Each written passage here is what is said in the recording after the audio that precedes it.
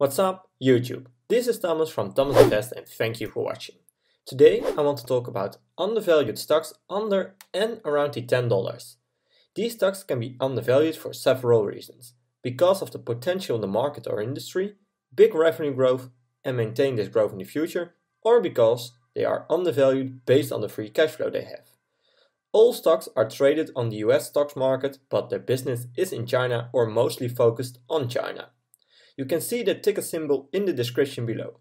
Please comment your thoughts on these stocks.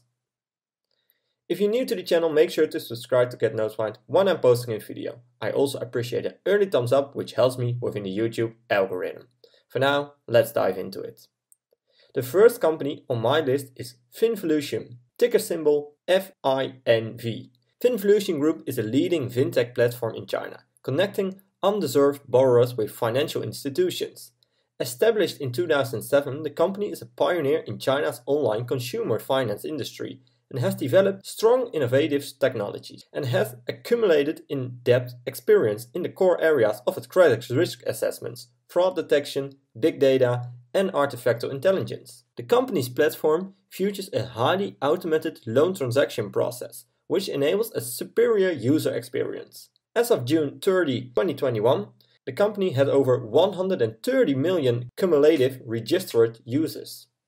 The reason why I think Finvolution might be undervalued is because of their future-proof business and because of their revenue growth and free cash flow growth. Since 2016, the revenue grew more than 470%, which is amazing. Back in 2016, they were generating only 160 million a year. In the most recent quarter, they earned 344 million. So it's only going up from here. The net income isn't growing in the same pace as the revenue, so we have to keep an eye on that. But it grew more than 300% since 2016, so no big deal. And Finvolution has a profit margin of still 33%, so I'm not worrying that much. Another thing which makes this a great company is the free cash flow growth. The free cash flow is used to paying down debt, do acquisition, research and development, and in the last part, buying back shares and pay dividends. The last two are not interesting right now for this company, but acquisition, research and development are very important and they have enough free cash flow to do so. Right now, Finvolution has a 5-year average free cash flow of 250 million. I use an average multiple of 20 and we see that they are undervalued by 200% based on the free cash flow, meaning their fair value would be around $18 a share. Currently, I don't own any shares of Finvolution, but I think it's a very interesting company and I'm doing some more research to see if this company is a buy for me. Right now, I do believe this company is massively undervalued, so I'm going to do some more research and put them on my watch list. Besides doing more research, I also want to evaluate if I'm comfortable having Chinese stocks. So if you have any experience with having Chinese stocks or any advice, please let me know in the comments. The next company on the list is Tencent Music Entertainment Group, ticker symbol TME. TME is the leading online music entertainment platform in China.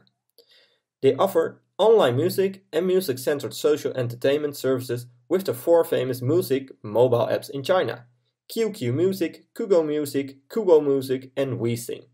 To over more than 800 million highly diverse and engaged users.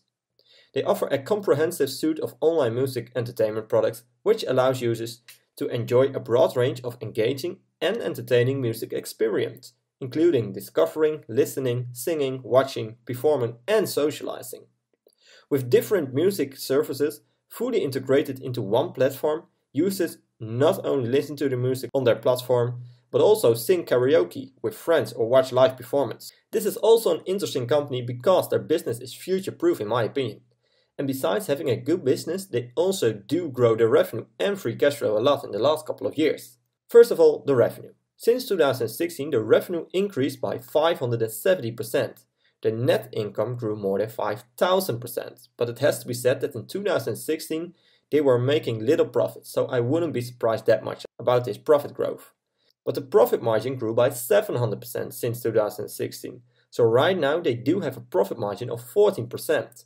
Another great thing about this company is that in their last 5 years, they didn't really issue a lot of shares, so you won't be diluted that much and your piece of the pie stays pretty much the same. If we take the last 4 year average free cash flow and use a mid multiple, we see that this company is undervalued by 34% based on the free cash flow. As said before, free cash flow is used to pay down debt, buy back shares, do acquisitions, research and development, and pay dividends. It's the same story with Finvolution. I do have to do some more research, and right now I don't have any shares of TME. I will put TME on my watch list and maybe I will buy them when I finish my research. The last company on my list is VIP Shop Holdings, ticker symbol VIPS trading at $12.88 a share, so just above the $10 mark. VipShop is an online discount retailer for brands in China. The company offers branded products to consumers in China through flash sales on its vipshop.com, vip.com, and other websites.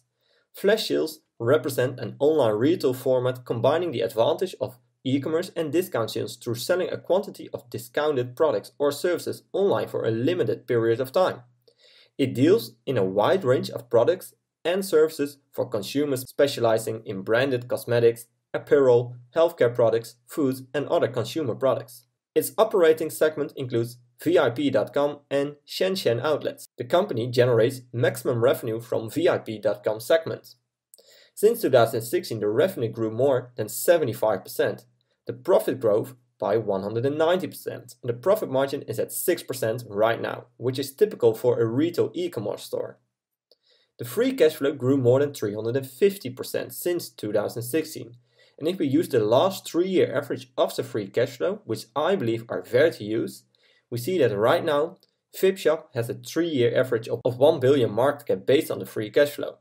If we use a mid multiple, we see that the fair market cap is 21 billion, they currently have a 9 billion market cap, meaning they are undervalued by 133% based on the free cash flow and have a fair value of $30. Right now they are at $13. I do believe in this business and it's again the same story as with the other stocks we discussed. I don't own any shares and I do have to do some more research, but right now it's looking good. I will put this company on my watch list and when I finish my research, I will see if this company is still interesting enough to me. My conclusion is that there are a lot of undervalued stocks outside the US. You can't ignore other countries in my opinion, but you still have to ask yourself if you feel comfortable by investing in Chinese companies. The three companies that we've discussed are, are all undervalued in my opinion and already have a decent history of growth. I believe in the business, but it has to be said that I'm not sure if I feel comfortable by investing in companies outside the US. This is something I still need to figure out. If you have any experience, please let me know in the comments. And remember to always do your own research and never fully trust on what I or other YouTubers say about a stock. I'm not a financial advisor and this content is just for entertaining purposes only. I hope you liked this video and I did bring some insights of the company to you.